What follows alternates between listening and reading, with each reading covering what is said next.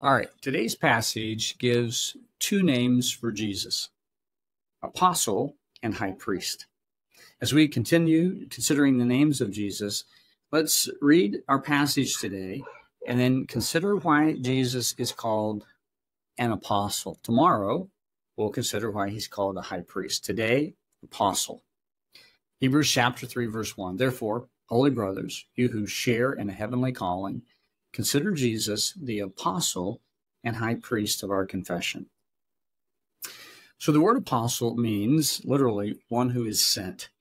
It describes a person who has been authorized uh, and commissioned to represent another person. Well, Jesus is our apostle. He was sent from God as the Father's representative on earth. Jesus was sent from God. Jesus said that he did not come from heaven to do his will, but to do the Father's will in John 6 38.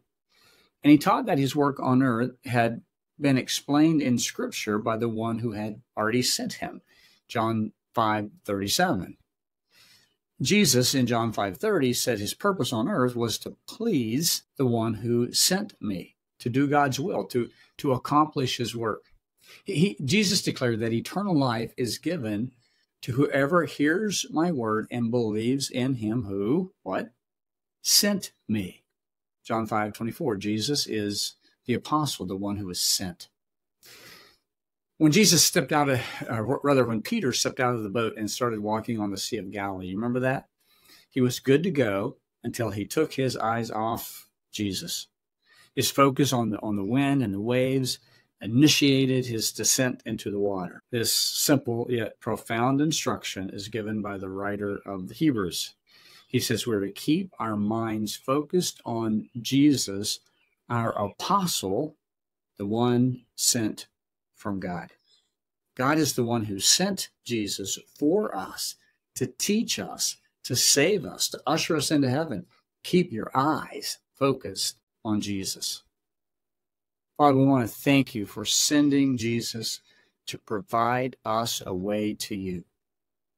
There are so many distractions, so many things we, we, we look at and watch and focus on. Lord, help us to fix our eyes on Jesus. Like Peter walking on the water, he was good until he took his eyes off of Jesus and started looking at all the things around him.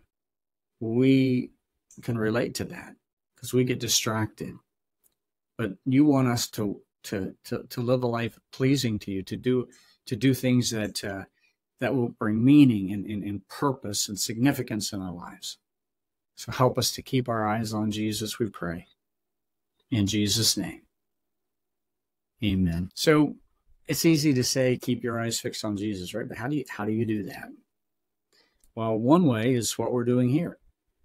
Being in god's word on a regular basis making certain you're hearing God's word, His word written, just His love letter to you. So if you want to keep your eyes fixed on Jesus, just keep reading His word. Hey, thanks for joining us today on the journey.